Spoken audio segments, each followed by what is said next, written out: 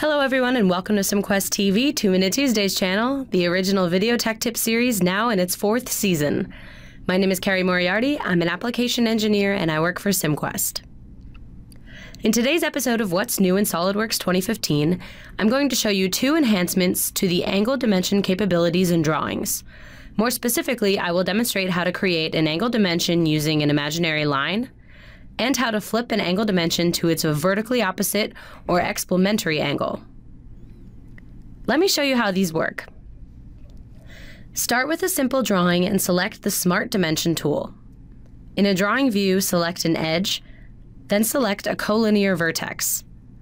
When the crosshair appears, select one of its segments. Then when a preview of the angle dimension between the edge and segment appears, click to place the dimension. You can easily flip an angle dimension to its vertically opposite angle by right-clicking the angle dimension, clicking Display Options, and selecting Vertically Opposite Angle. To flip an angle dimension to its explementary angle, right-click the angle dimension, click Display Options, and select Explementary Angle. As you can see, these enhancements to the angle dimension capabilities in drawings will allow for more flexibility and accuracy when assigning dimensions to drawing angles. Well, that's it for this episode from Cimquest 2 Minute Tuesdays channel.